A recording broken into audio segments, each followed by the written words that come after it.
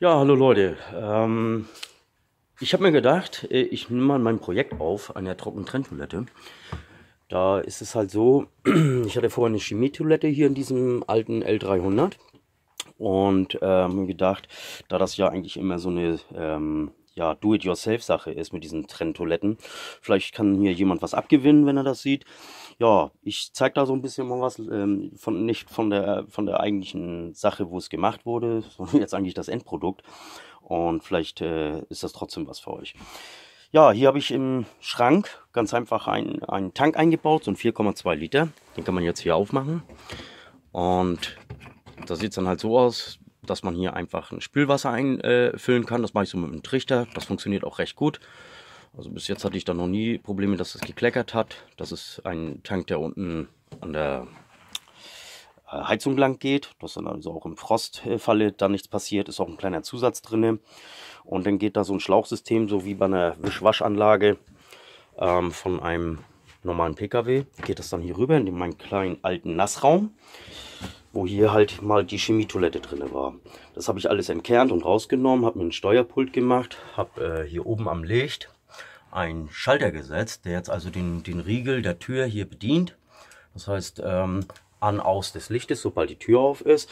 Aber wesentlich hängt hier unten, wenn ich das jetzt hier mal hoch mache, ähm, der Lüfter da dran. Denn wenn die Tür geschlossen ist, habe ich das äh, so, dass der Lüfter ja wenig Drehzahl hat und sobald die Tür äh, geöffnet wird und nur halb geschlossen, dann läuft er auf höhere Drehzahl und zur Folge ist, wird dann hier der ganze Korpus äh, entsaugt, sag ich jetzt mal.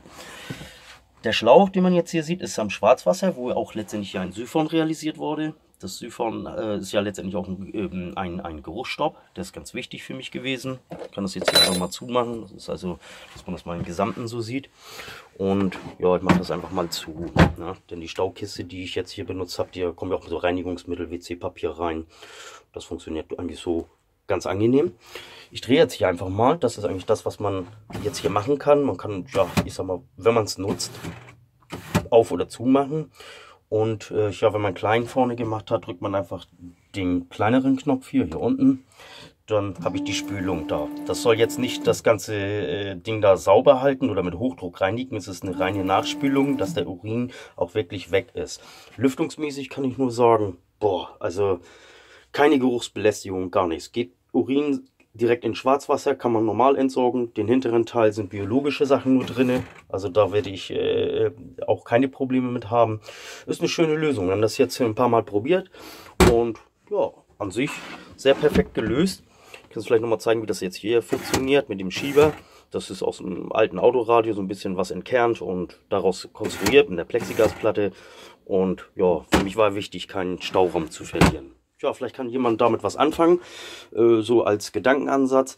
Jedem kann ich nur empfehlen, macht immer eine Lüftung rein, die zum Dach rausführt. Ne? Denn, denn ich sag mal, stehender Urin, wenn man den nicht regelmäßig äh, dann entleeren würde, ja, dann kriegt man das selbst mit dem Lüfter nicht weg oder, oder man muss dann mit, mit Spray arbeiten.